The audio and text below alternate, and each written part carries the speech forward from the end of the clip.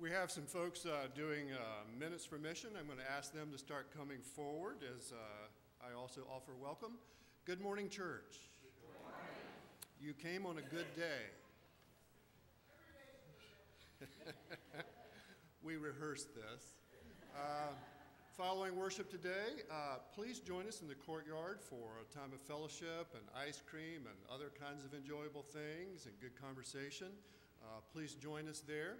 And uh, please also, if you would, consider signing the attendance pad at the end of the uh, pew row and passing it along the link so that you might know who you're sharing quarters with today.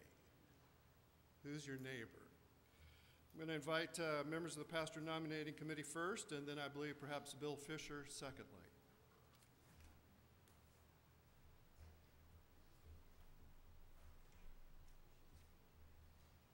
Good morning. Good morning. Well, that's good. I'm Tom Holmes.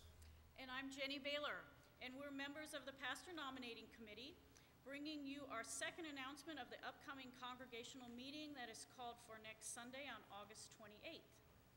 Jenny was pretty exciting last week announcing uh, our new pastoral candidate, Lawrence Bartell. It sure was, and I'm even more excited today. You know, I was a little, re- little surprised by the response of the congregation to the announcement last week. Of course, I know we didn't, we couldn't give out the name yet. And we're here in church, and everybody's, re, you know, respectful. And we're kind of a quiet group anyway. It's the Presbyterian way.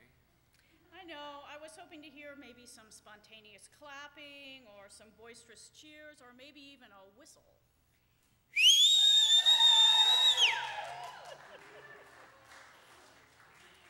That's right. a good start, but we're going to try again with the announcement. That's a great idea. Your PNC is proud to announce who we will believe, believe will be our next pastor, Lawrence Bartell. we'll be presenting him next Sunday, August 28th, to preach. And then afterwards, we'll have a congregational meeting where you will be asked to vote on the candidate. Now, the voting on a candidate, why just one candidate? Well, Tom, that's the Presbyterian way, don't you know? the uh, National Presbyterian Church, PCUSA, and the local Presbytery of the Miami Valley gave the PNC a manual to follow to direct their work in the process of interviewing and calling a pastor. In addition, a liaison from the Presbytery, Presbytery's Committee on Ministry worked with us we were charged with finding the one best candidate for pastor of the Oxford Presbyterian Church. The congregation's role is to vote yes or no on that candidate next Sunday following the service. Even our new confirmands are invited to vote, so please come. Now, you all should have gotten an introduction brochure in the mail this week. Would that be correct? Yes. So you all know what they look like, all right? Lawrence, Amy, Jens, and Lydia Bartell will be arriving Thursday, and I'm challenging you all to find an opportunity to introduce yourself and welcome them to our congregation. Uh, you might find them at the, the music festival on Thursday night if I don't steal them to go to the Meet the Teacher night at Talawanda Middle School. Friday, they could be walking around town anywhere, you just never know. Saturday, we've got a sip and see event that you can all join in and, and partake, and then we're going to go ahead and do the, uh, he's going to be preaching on Sunday. But I hope that, that with this visual, he's pretty easy to identify because he'll have that same smile everywhere he's walking. And, and it'll be a great opportunity for you to meet him.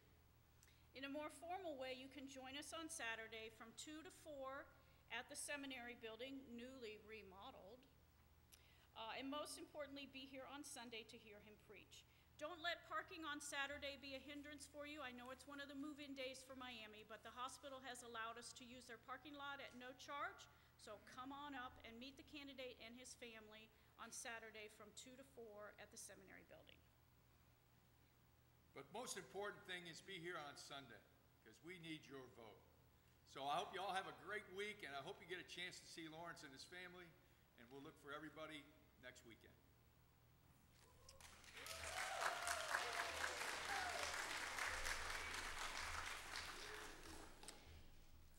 As moderator uh, of Oxford Presbyterian Church, uh, I am then formally announcing the congregational meeting next Sunday following worship. Bill Fisher.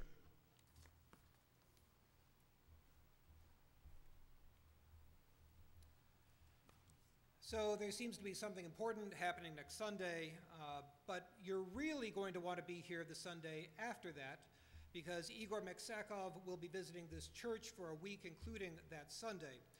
Uh, huzzah, huzzah! For those of you unfamiliar with Igor, he came here in 2003 under a program uh, run by the Synod that brought a number of Presbyterian ministers from the former Soviet Union to our synod, um, and we were lucky enough to get Igor for six weeks. He has been back a number of times since then, and we have sent mission groups over to uh, Chelyabinsk and Zlatoust, the church he came from, um, uh, twice, I think, since he has been here, since he first came. Um, I first started corresponding with Igor about this trip back in April. Um, we've had a number of conversations by email since then, and of course, this has always involved Google Translate. Any of you have used Google Translate know it's not the easiest form to communicate in. In fact, one of Igor's messages to me uh, relatively lately was, I understand you have meningitis August 29th.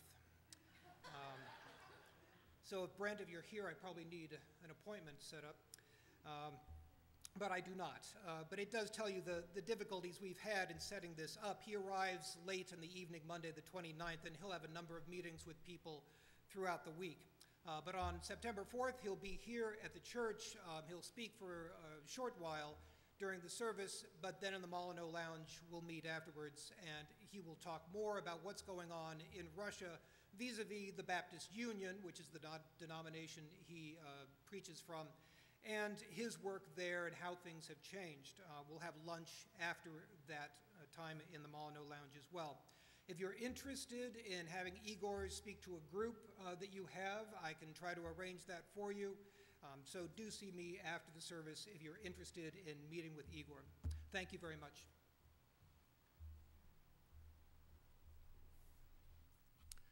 Let us now prepare ourselves for worship.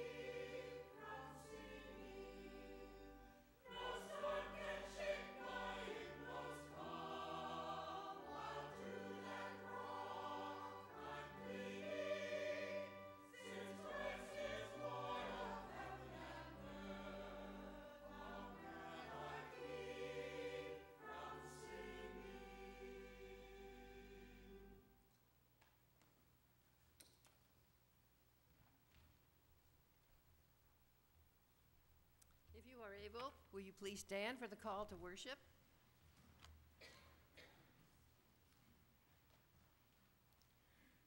How are we to know we are loved by God?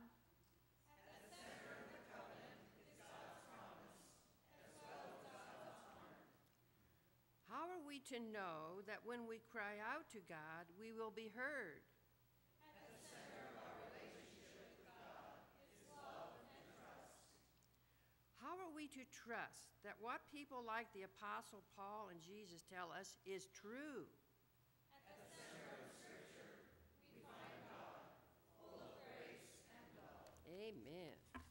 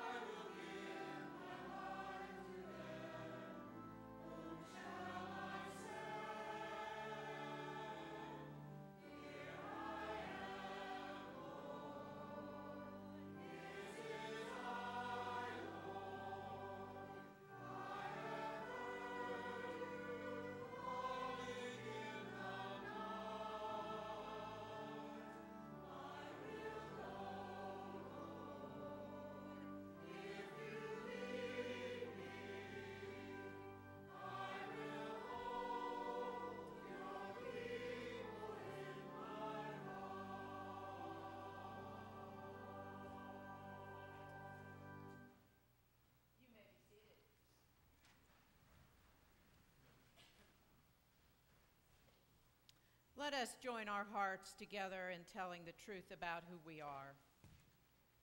Refuge of our hearts, we must admit that all too often you are not the center of our lives. We find shelter in all the false securities the world offers, rather than grounding ourselves in your promises. We ask one thing of you, our God, that you not hide your face from us, but turn to us with forgiveness and hope. Be gracious to us, so we might share such grace with those around us. Fill our emptiness with your love, so that we might become more loving. Open our hearts as well as our eyes to see the one who comes to gather us up and lead us into your kingdom, Jesus Christ, our Lord and Savior.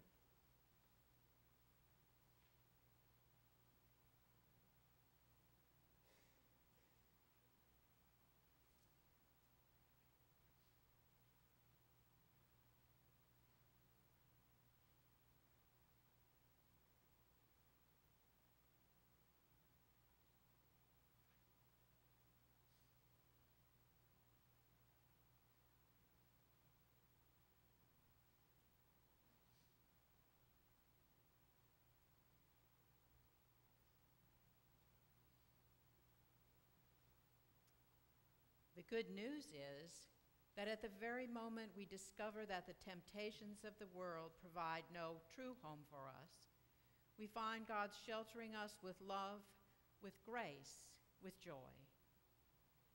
Gathered up in God's grace, we become forgiven and whole. We can lift glad songs of joy to the one who makes us new. Thanks be to God. Amen.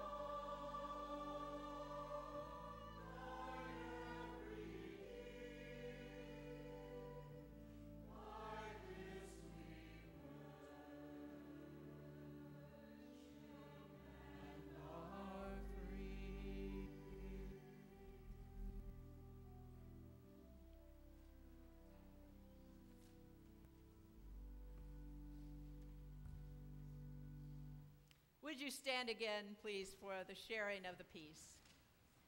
The peace of the Lord Jesus Christ be with you all. And also with you. I invite you to share the peace with those who are around you.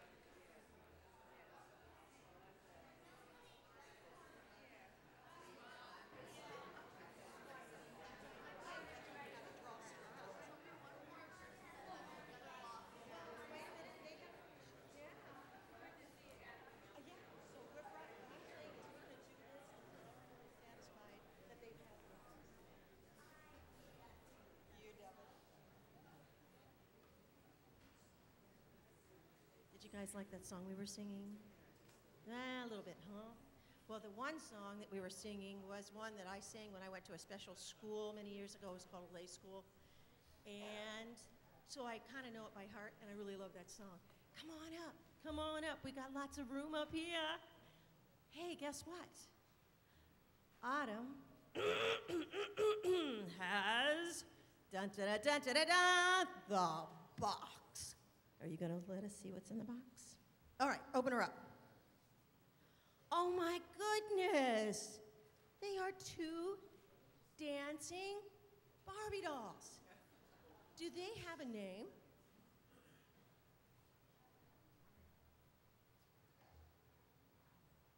That one's Barbie too? That's okay. Cinderella. Wow, how beautiful. Are these special to you for a good reason? You want to tell me? Because she does ballet. Isn't that amazing? Well, I love this. When I was a little girl, I had lots of Barbies because I really loved Barbies. And they didn't all have different names either, but I loved them very, very much. And sometimes I'd be like you, well, what is that one's name again?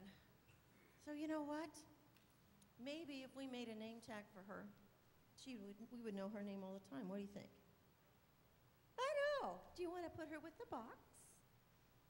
Cinderella is good. Cinderella is very good. So how many of you guys know my name? I'm hiding hiding it. Do you guys know my name? Yes, that's right. That's right. You do know my name. And we know Abby's name. She made a name tag, we know Eric's name. But what would happen if I had all this love in my heart for you and I didn't know your name? Would you help me with that? Would you come up and say, Hi, my name is Gabriel? And I would say, My name is Carol. That's right. Well, we in the church, we love each other very much, but we don't always know our names. So one of these times, a few years ago, we decided to make this fancy book. You guys ever seen this fancy book? You ever seen the fancy book? No, this is a. Yeah, picture day, picture day. Okay, so this is a book where lots of people's pictures are in it. And so if you have a picture in this book, then that's part of the family of God. But you know what? That's part of the family God here at Oxford Presbyterian Church, but there are some pictures missing. And one of those pictures that's missing, because I didn't have my picture done this time, is me. Oops, I'm not in there. How would you know who I am? And then if you go to the back here, if you'd have to know my last name. So then, some very smart ladies in this church decided that they needed to know us better. So, guess what you guys get to do? You get to make your own today. Look at this.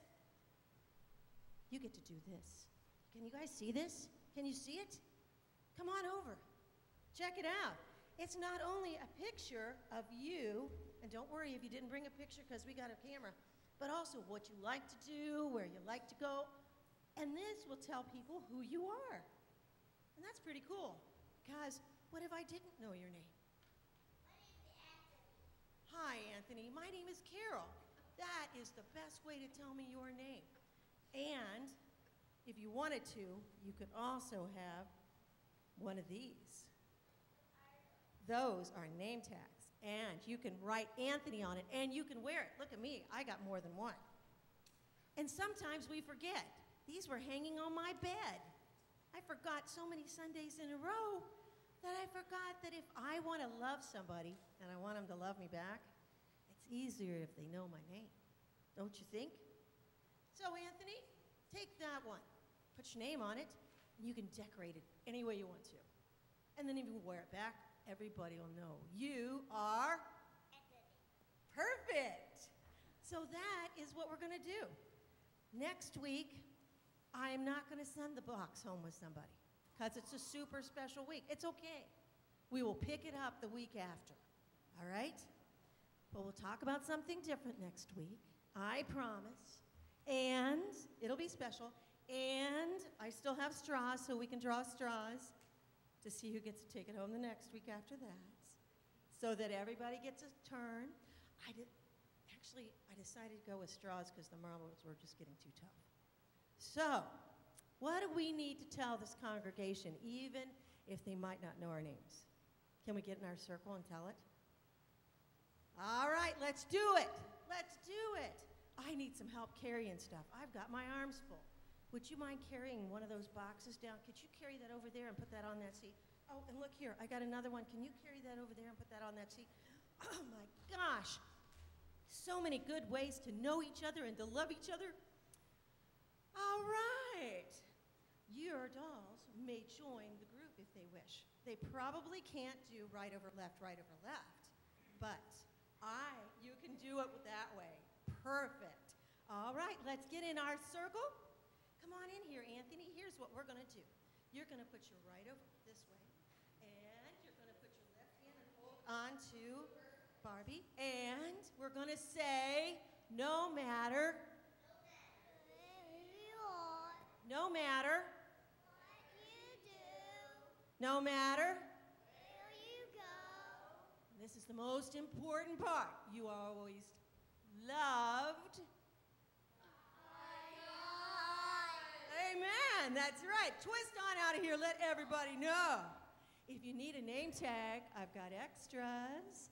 And does the congregation have a blessing for them? Do you all have a blessing for the congregation? God be with you here. And God is. Woohoo! Don't forget, ice cream. Let's go.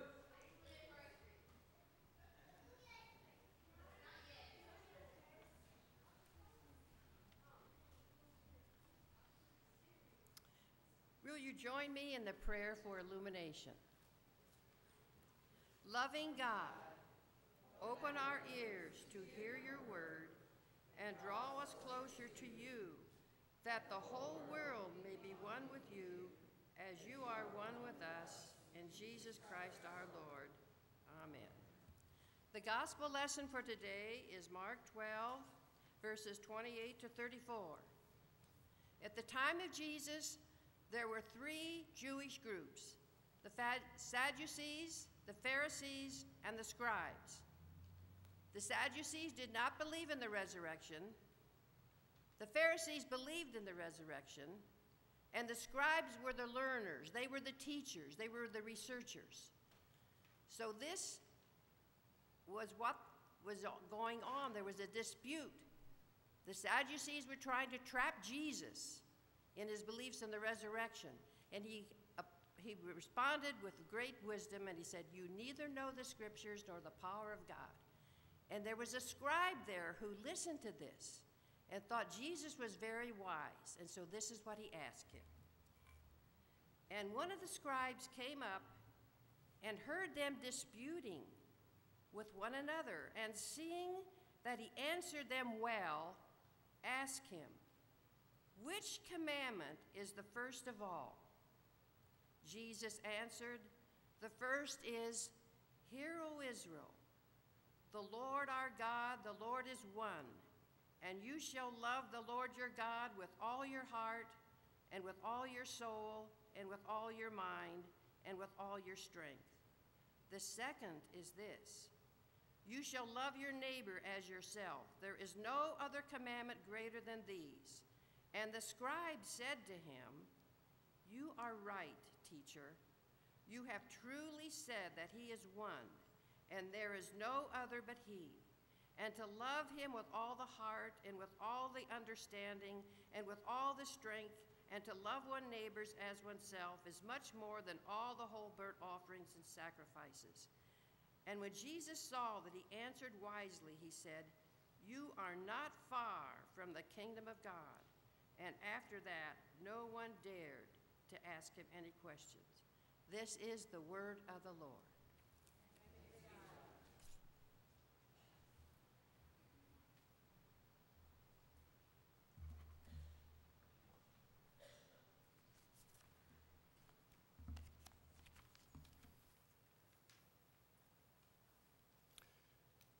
Yesterday morning, uh, Pastor Cheryl and I uh, received a phone call from our son Jason and uh, our granddaughter Ophelia. it's taken all the restraint I have as a human being not to talk about her more often. So we're doing one of these FaceTime things. Uh, everybody knows what FaceTime is. There's these smartphones, and you, you, get to see the other person on the other end. And Ophelia is looking at uh, her grandma, and that's going well. And then she's she's looking at her grandpa for a while, and she's fascinated with me for about five seconds. and then she says, "Where's the kitty cat?" Five seconds, and she's looking for the kitty cat. And we show her the kitty cat. She's happy. And then, can I have another, can I have another shot at this? So Ophelia's looking at me again, and I'm figuring we're going to be down to three seconds this time. And so I say, I say, Ophelia, I want, I want you to see my hand. And she knows I hurt my hand. And I said, I want to show you uh, with my hand a symbol or a sign, something that says love. Anybody here familiar with sign language? Some, uh, if I don't get this right, you can let me know. I said, let me show you what uh, love means with my hand. So I hold it up, and these two middle fingers go uh, against the palm, and then your thumb outward. And this is not a hook 'em horn sign. This is American Sign Language uh, to communicate love. Anybody familiar with this? Uh, I actually have a little bit of a hard time making my fingers go that way because my tendons are still trying to stretch out. And aren't we all trying to stretch out our capacity to love? So try that. Just imagine that Carol Klum is doing another children's sermon and, and you and I are the participants. She's helping us get in touch with our inner child. Just try that. Try that. Oh, some of you are really good. Takes a little practice. That's, that's the symbol for love. So, here is this passage from 1 John, which, uh, as Billy said, uh, really is a, uh, a love letter to the church. Hear these words Dear friends, let's love each other because love is from God, and everyone who loves is born from God and knows God. The person who doesn't love does not know God because God is love. This is how the love of God is revealed to us. God has sent his only Son into the world so that we can live through him. This is love. It is not that we loved God, but that he loved us and sent his Son as the sacrifice that deals with our sins. Dear friends, if God loved us this way, we also ought to love each other. Now, no one has ever seen God, but if we love each other, God remains in us, and his love is made perfect in us. The Word of God, thanks be to our Lord. I, uh, I want to begin by saying this. If, if you should see me cry, don't worry. Please don't worry. There's nothing physically wrong with me. There's nothing spiritually wrong with me. There's nothing mentally wrong with me. Well, I, I won't go too far. But uh, I didn't cry much for the first 40 or 50 years of my life, so I'm trying to catch up, okay? Are you okay with that? I need to hear that. Are you? Thank you. It's actually, um, it's actually very releasing. I, I encourage you to try it. Someone uh, recently asked me what my favorite story or passage in the Bible is. What is my favorite story or passage? It's a, it's a good question to ask a pastor, isn't it? It's a good question for pastors to ask you too, by the way. So when I heard that question asked of me recently, immediately it came to mind that, that story of Jesus' baptism in the Gospels. And you can recall that story in the story of Jesus' baptism, Jesus comes to the River Jordan. You can recall this. And, and what then happens? There are crowds everywhere. They're coming because John the Baptist is, it says in, in one of the Gospels, baptizing everyone. And so Jesus presents himself to be baptized as well because he identifies with everyone. And, and you can recall as he goes deep into the River Jordan, uh, he goes under the water, and a dove comes from on high. And then those words from God the Father, You are my Son. And in my translation, it says, You are my Son, whom I dearly love. In you I find happiness. I love that translation. You are my Son, whom I dearly love. In you I find happiness. What the story tells us tells us many things, but one of the things that tells us is that it matters that someone loves us. It matters. And it's particularly revealing that here within the inner life of God, God the Father, the Son, and, and also the Spirit, within the very life of God, think about that. There's the communication of love within the whole experience of the being of God. There is the communication of love within God's own very being.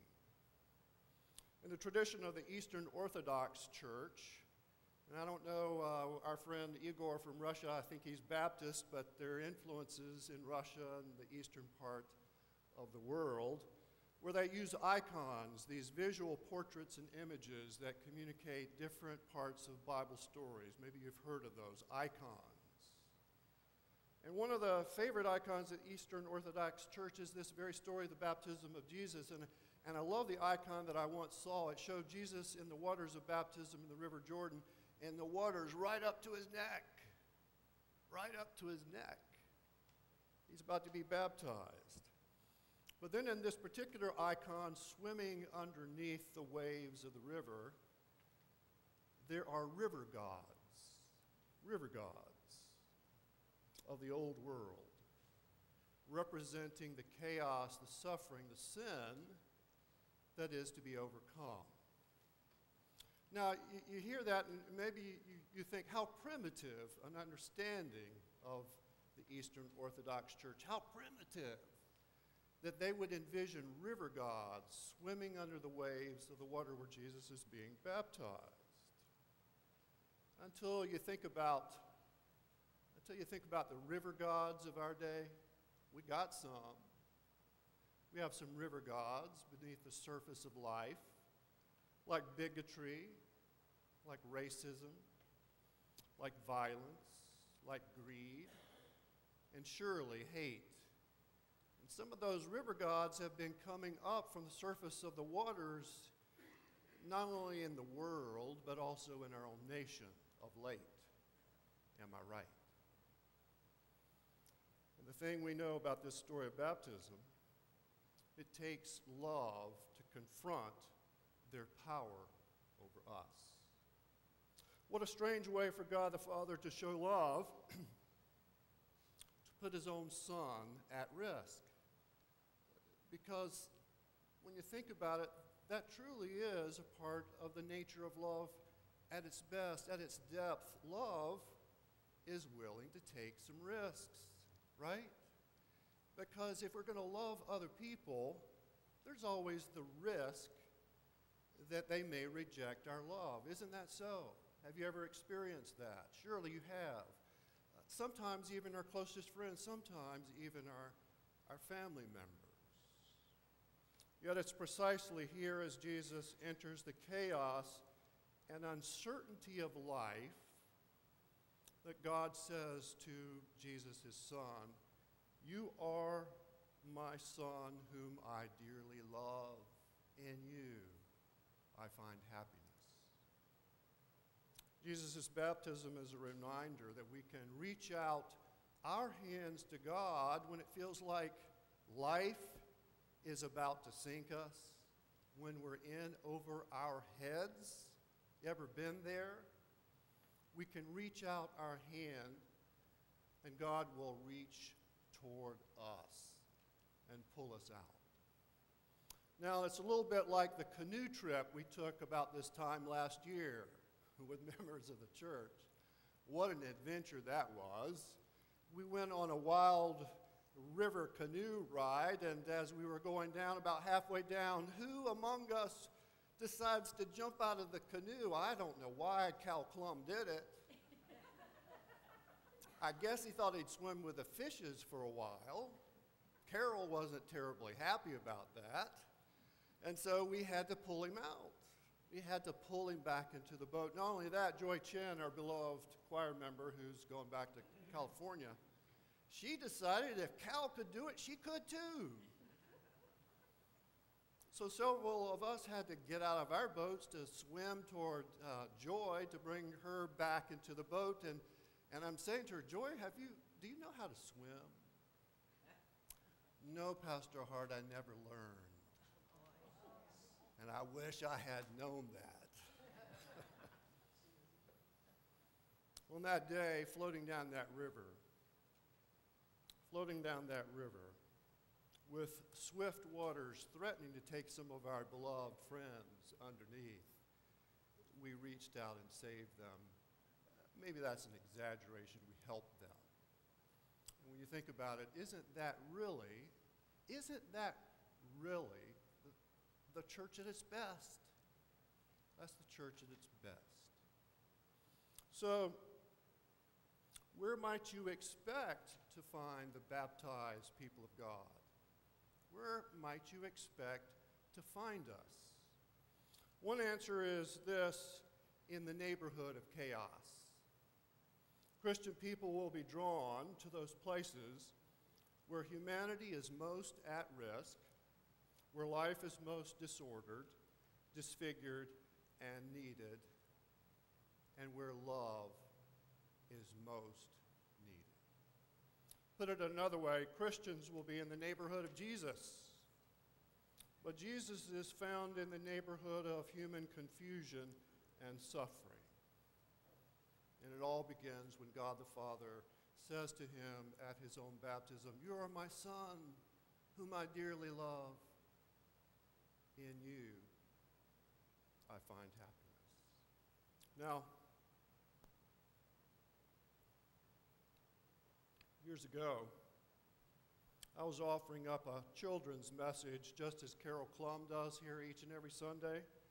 Um, and I have to say this, and I don't know why she left the house. I don't see her, Carol. uh, I want to thank uh, Carol for all those Sundays in the course of the last two years I've been here where she's offered up uh, these wonderful blessings and messages and stories to our children. Are we grateful for that?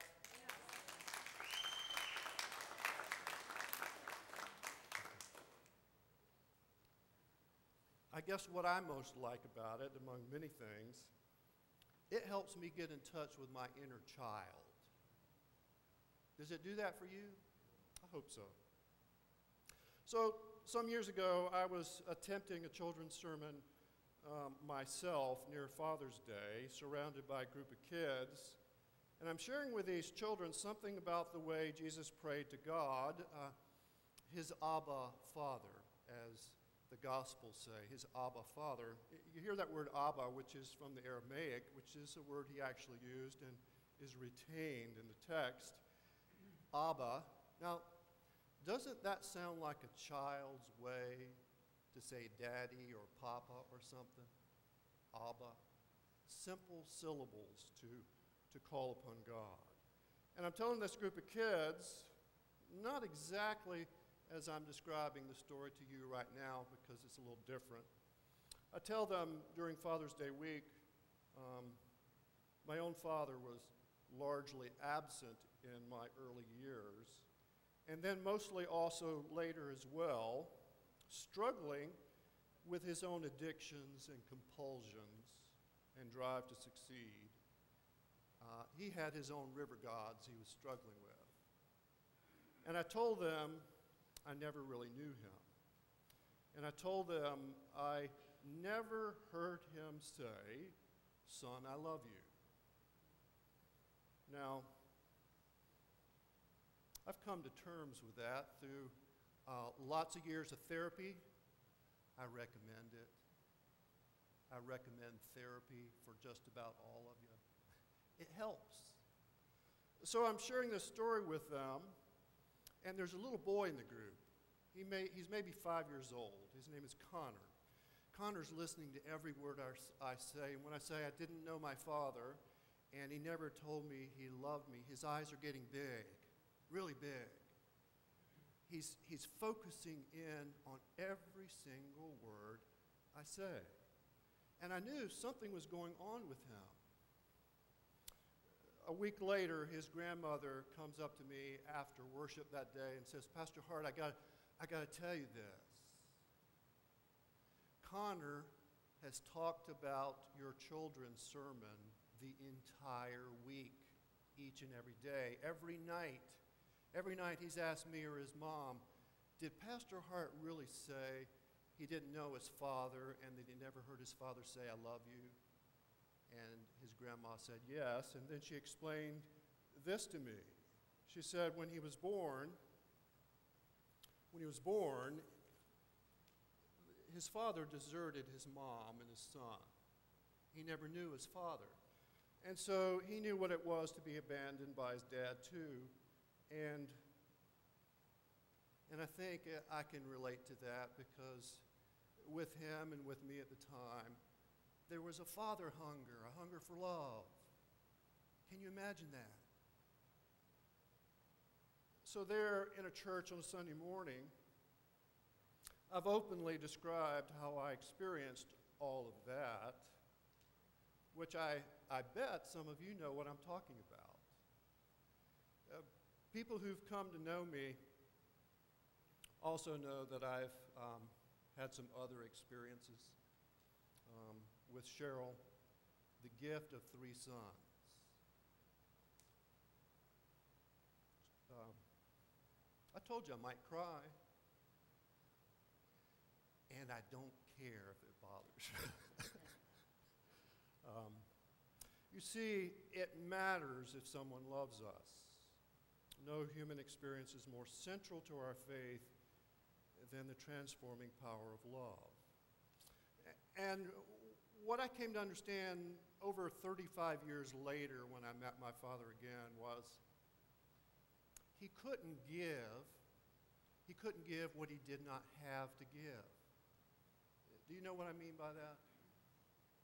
He couldn't give what he did not have because he had never experienced that kind of love either, either from God or for his, his own father either.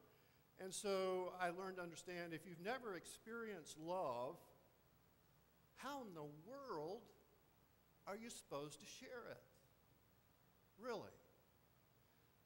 That, that's why when I uh, define church, this is one of the ways I do it. What's a church for? What is a church for if it isn't a place to love and to learn how to love with each other? What's it for if it isn't that? Now, over the years, I've, I've learned something that was disappointing at, at different times.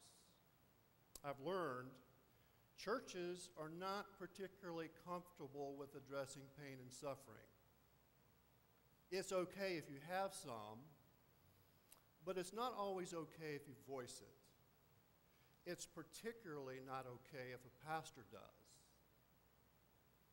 And I bring this up because in my interim role as a pastor, I'm going to say if you don't give permission and freedom for your pastors in the future to be vulnerable, to share their uncertainties, to share their own pain and suffering, not only do you do them a disservice, you do yourselves a disservice. You prevent the expression of God's love and the discovery of that in the give and take of acknowledging how we're all seeking to be healed by God's love. What's a church for if it isn't that? One great thinker in the church once said that God is the fellow sufferer. Um, another one there's nothing wrong with me physically or spiritually. Mentally, another teacher of mine, Henry Nouwen,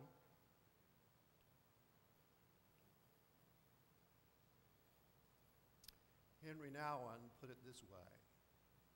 He spoke of leadership in the church as calling for leaders who are what he called wounded healers. Wounded healers. You see, we get in touch and understand the nature of our pain and, and where we can be healed in it. And when we are able to do that, it then gives others um, permission to voice their own. Now, if this is unsettling to you, that I believe that pastoral leadership should involve being a wounded healer. If that is unsettling to you, please come and talk to me about it, would you? Please come and talk to me about it. I remember the story in the Gospels, and surely you do too, the 19th chapter of Luke's Gospel. Jesus is approaching the city of Jerusalem, and and we know from the other Gospels, the city of Jerusalem is the place where it says in the text, the prophets are dishonored and often killed. And uh, in the text in Luke's Gospel, we hear how Jesus wept over the city. His heart was broken for the people of the city of Jerusalem. And he cried and shed tears. Now, the question before us as a church is this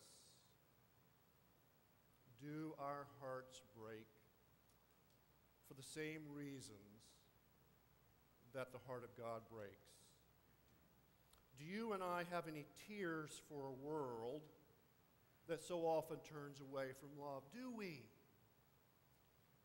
Now, what I've also learned the prayer book of the church, the Psalms, some 40% of them, of the prayers of the church in Jewish faith and Christian faith, 40%, nearly 50, nearly half, are what are called laments, expressions in prayer of, of hurt and frustration and anger and deep struggle to believe in the goodness of God. 40%.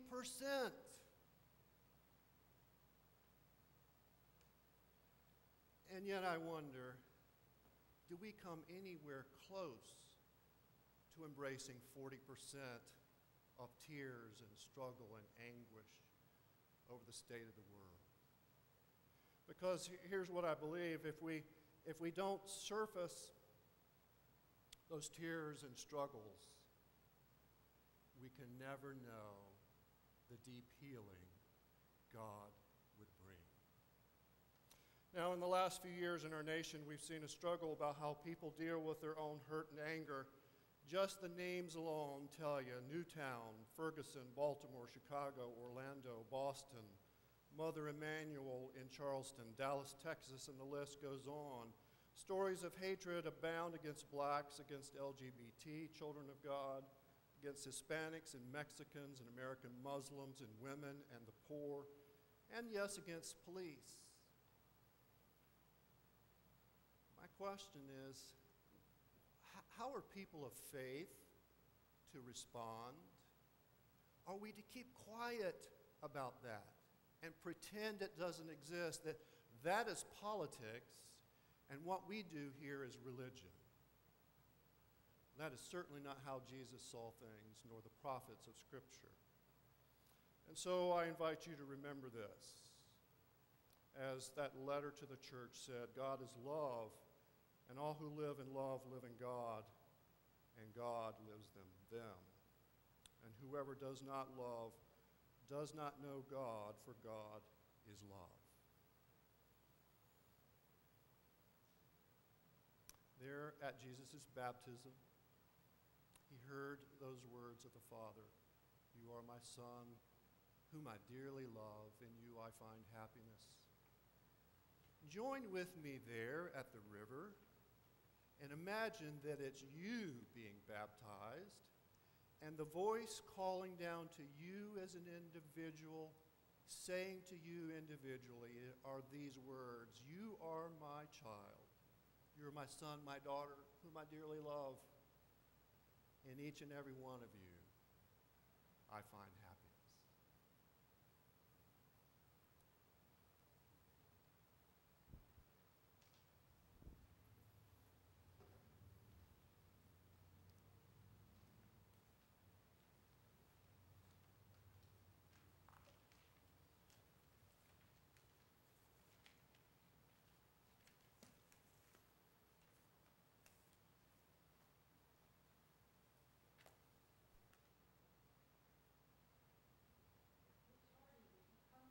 Join me.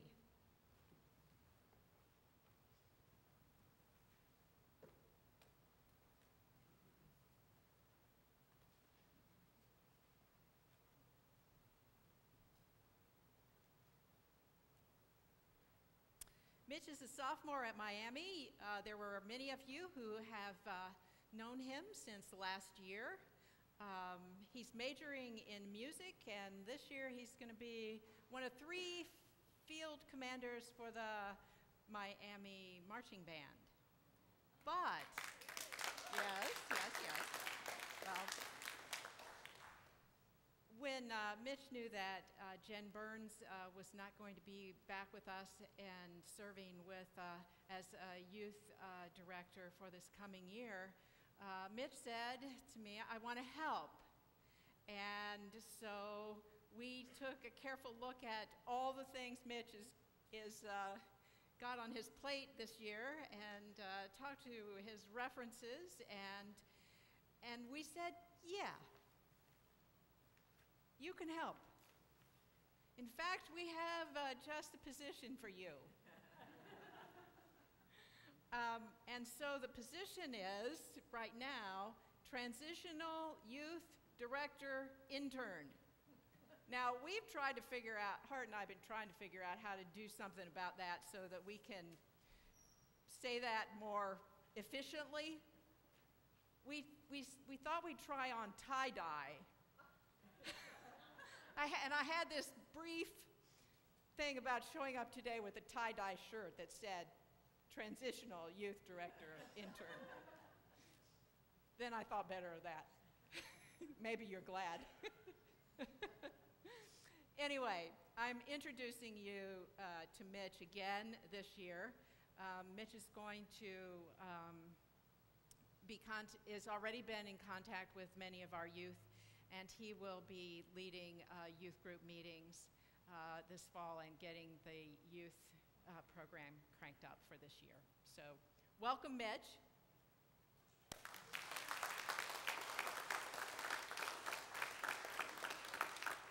Uh, from you, I expect a great deal of support and prayers and love.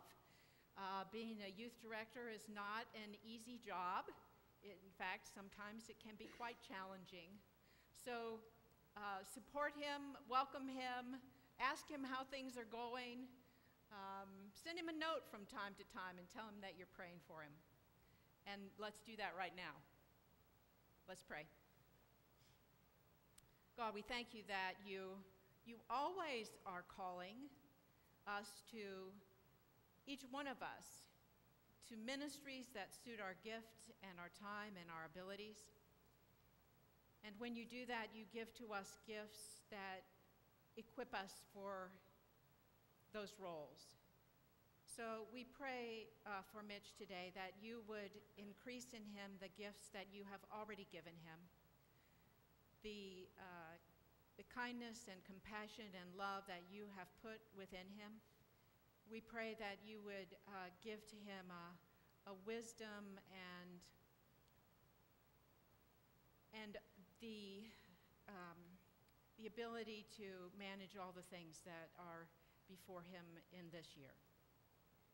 We pray that um, as he works with young people, that they would be uh, drawn to Him, and that together they might grow deeper in love and in service and in discipleship. These things we pray in Christ's strong and saving name. Amen.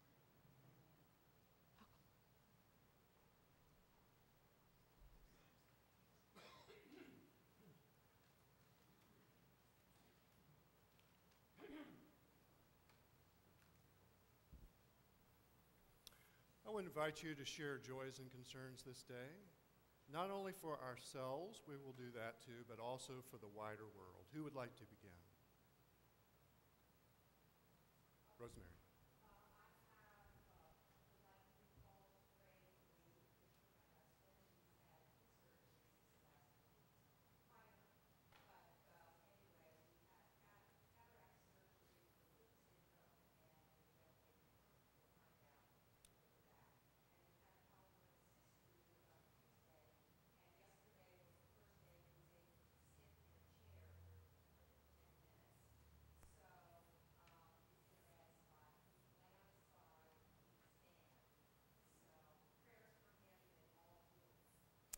Prayers for Lee Fisher, Lord, in your mercy, hear our prayer. Other joys and concerns. Yes.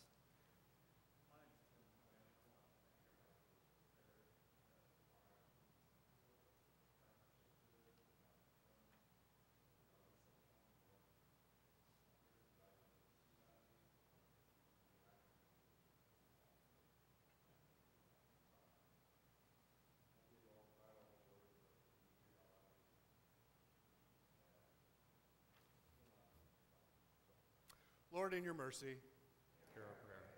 Other joys and concerns? How about some prayers for people in our nation and world? Deanna. Prayers for those struggling with flood conditions in Louisiana who need to know God's people. Remember them. Lord, in your mercy. Other joys and concerns. Uh, from Pat Gifford, she asked prayers for Jack, who's having surgery. Lord, in your mercy. Robert. Prayers for those endangered by the Zika uh, outbreak in Florida. And may I add to that that our congressional leaders would come to their right minds. And uh, this is a legitimate prayer, by the way and uh, would provide the needed financial resources to assist and help the people of Florida. Lord, in your mercy. Other joys and concerns? Safe travels for your daughter and her name, Bonnie, going to Luxembourg. Lord, in your mercy. Other prayers, joys and concerns. For Igor, who's coming from Russia to visit here on a mission trip, Lord, in your mercy. Um, let's pray for your pastoral candidate coming next Sunday and for the wonderful work the pastor nominating committee has done. Lord, in your mercy, we rejoice. Lord, in your mercy. Well, okay. we can do that too. Joys and concerns? Any others?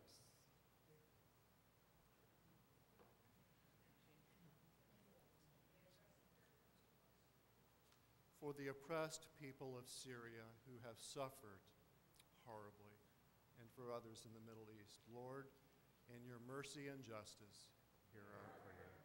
And God's people prayed the Lord's Prayer together, saying, Our Father, who art in heaven, hallowed be thy name.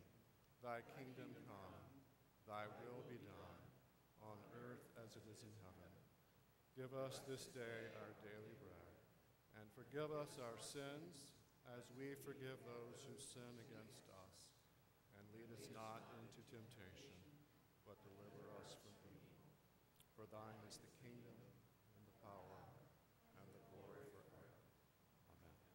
Freely you have received, we all have. Let us freely give.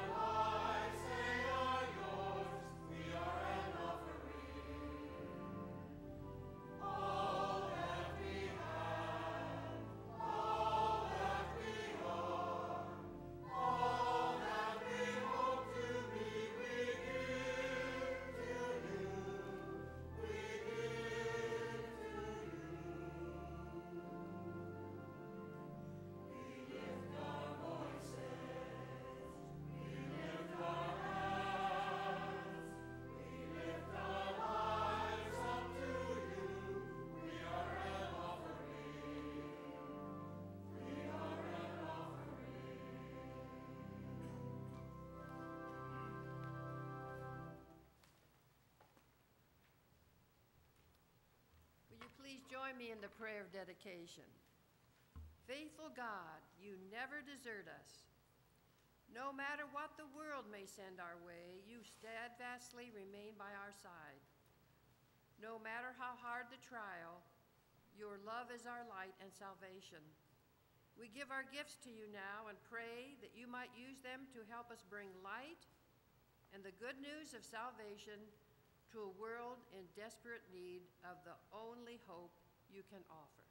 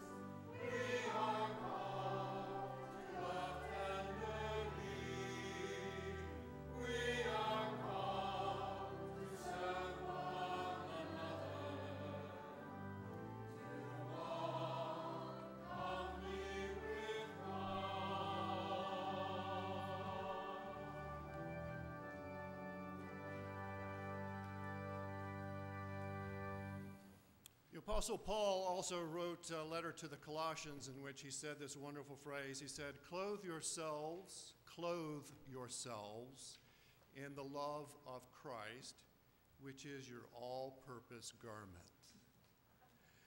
And now may the love of God, the peace of our Lord Jesus Christ, and the loving power of the Holy Spirit enrich your lives and bless you. And God's people said,